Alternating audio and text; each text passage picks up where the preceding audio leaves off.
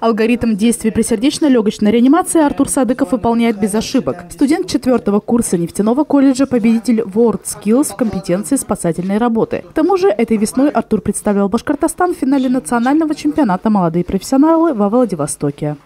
Мы проходили ряд испытаний. Это высотные работы, боевое развертывание, оказание первой помощи. Самое тяжелое было это ДТП, деблокация автомобиля, вытащить пострадавшего, оказать первую помощь и разобрать машину. Это самое трудное, что нам подавалось. Но мы это смогли. Мы взяли шестое место, не смогли пройти финал.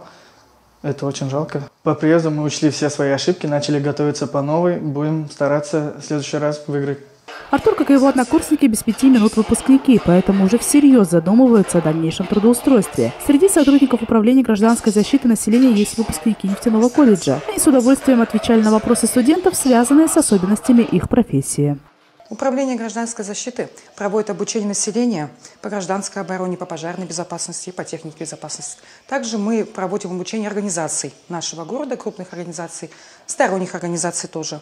Э, так-то сегодня к нам пришли, посетили студенты. Вопросов очень много. Больше, что, как действовать в чрезвычайных ситуациях, куда, как говорится, бежать, где прятаться, какую информацию мы можем дать. Мы все в форме произвольной даем, рассказываем, показываем. Нефтяной колледж активно сотрудничает с Управлением гражданской защиты населения. Студенты принимают участие в штабных учениях по предупреждению чрезвычайных ситуаций. А во время летних каникул у них есть возможность трудоустроиться спасателями на городской пляж. Анастасия Тимирбаева, Ильгиз Миниханов. Время новостей.